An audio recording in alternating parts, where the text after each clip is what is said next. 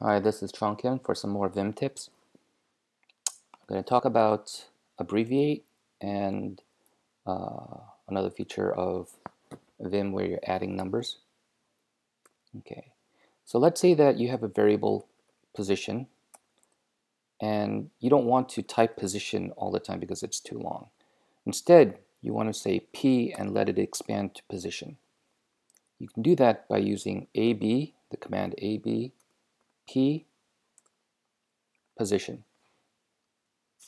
So now, when I type p space, it says position.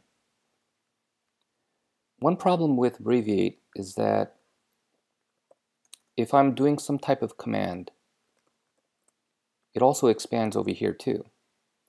And sometimes that's uh, a, problem because you want to, to be an actual p instead of position. So let's undo this. You can do una p.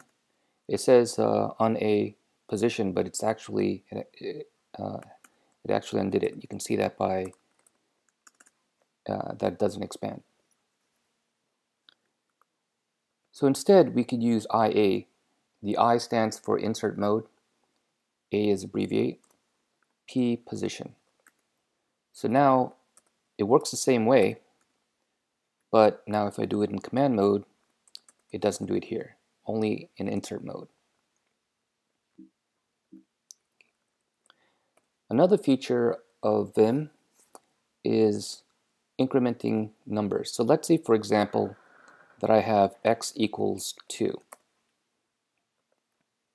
or 3, okay, or 2. If I press Control A in normal mode, it increments it. And if I press Control X, it decrements.